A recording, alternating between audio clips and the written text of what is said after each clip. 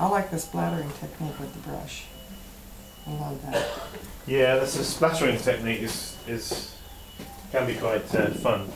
Hello everybody, welcome. Here we are. You caught us. We're we're doing some glazing here. We've got some buckets of raku glaze, and we're wanting to glaze off some of these pots.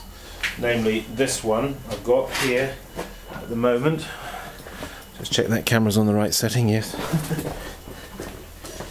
okay, so we've got in here a raku glaze which is um, 80% alkaline frit, 10% china clay, and 10% quartz. And it has a sort of teaspoonful of copper oxide added to it. And um, give them a stir up.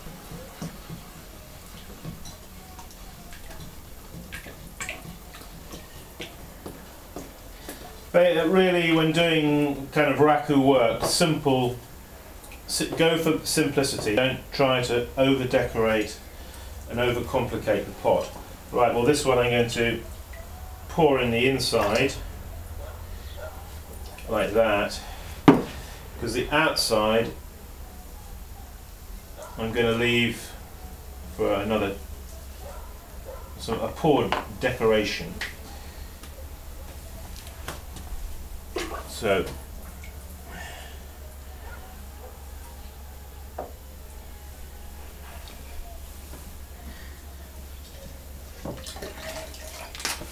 So we're going to wipe that off there. Have you got any more to do, Dominic? I can I can get one to do. Yes. Right. Now I'm going to do a poured decoration, one of my favourite ways of decorating, just using a spoon. So, in order to do that, we're just going to hold the pot like that and I'm going to pour it like that. To give that poured, you hold the pot at an angle, you see,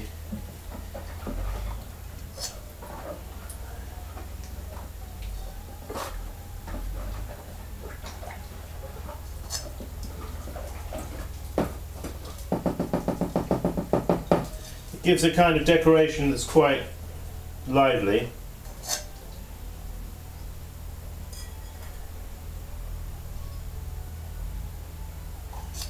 To me, for me, raku means spontaneity, lively, not too premeditated, freedom. Those are the kind of words that come come to mind. Okay, now I've poured that using the spoon. Just going to hold it there for a moment.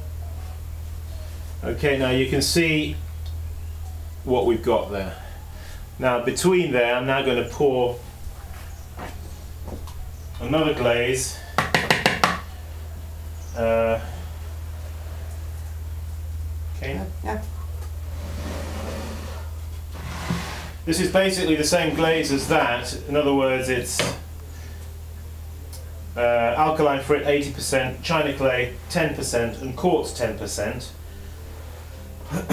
but in this case, we've got probably half a teaspoonful of silver nitrate crystals dissolved in water mixed up in here.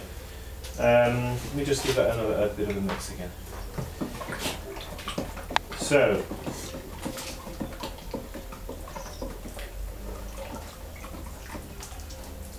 I'm going to do exactly the same as I did before with that, but this time pouring between the the trails that I've already done. So, you just come a little closer to the camera. So with a teaspoonful again.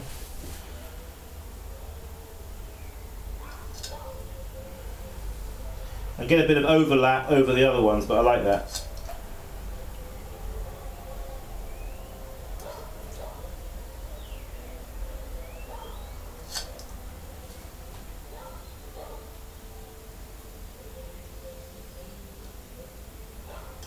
See, any, any one of you could do this. It's, it's not difficult, really.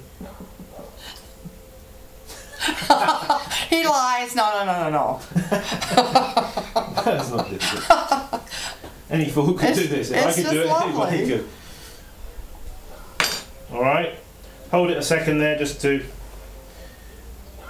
let the biscuited ware absorb the. Okay, now That's so pretty. You see that? It's a, a decoration that's got a bit of movement, you know, a bit of life in it. And what I do then is, where's the, uh, oh. I've got here, in this plate effort, I've got some copper oxide and water mixed up together. Uh, I'm just trying to get mix them them two together. You don't want to have the copper oxide so thick it's claggy on the brush. So we're going to, with the brush, a tapping technique on the brush like that will hopefully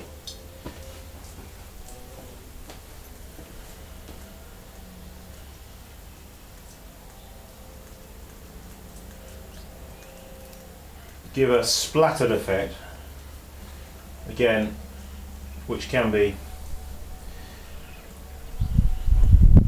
can be quite nice later on because of course the, the copper oxide will reduce and come out a greeny in some cases actual copper will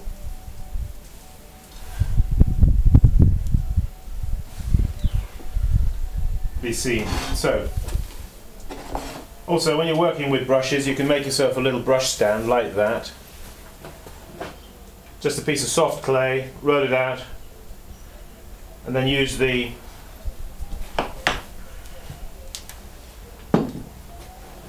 use the brush to impress like that. And it stops your brushes rolling away on the table which they will do if you don't do that. So,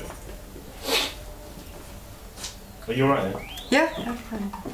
Yeah, Mix it. Don't know that that's watery there. Mi- Yeah. Make sure it's sort Oh. of it's well it's well mixed. Otherwise it'll.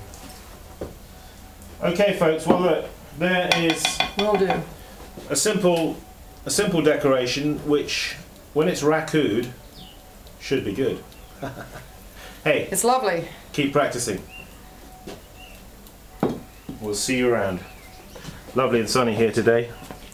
Very, very pleasant. Okay, bye now.